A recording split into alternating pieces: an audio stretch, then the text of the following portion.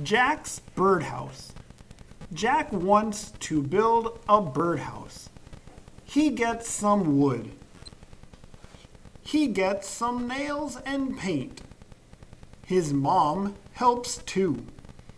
She gets a saw and a hammer. She gets a pencil and a ruler. Jack draws his birdhouse. They build it together.